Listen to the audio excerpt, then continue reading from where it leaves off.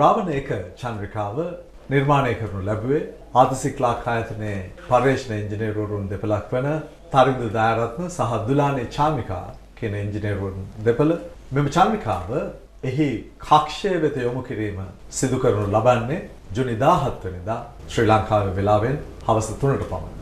රාවණේක චන්ද්‍රිකාව කක්ෂගත කිරීම සිදුවන්නේ අදියර දෙකකින් පළමු අදියරේදී මේ ජාත්‍යන්තර අභ්‍යවකාශ මධ්‍යස්ථානය වෙත රැගෙන යාම සිදු වෙනවා. එතකොට රාවණ එක චන්ද්‍රිකාව මෙම ජාත්‍යන්තර අභ්‍යවකාශ මධ්‍යස්ථානයේ සිට කක්ෂය වෙත මුදා හැරීම කිලෝමීටර් 400ක උසකින් පවතින කක්ෂයක් මුදා හැරීම සිදුවන්නේ ජුනි 17 වෙනිදා.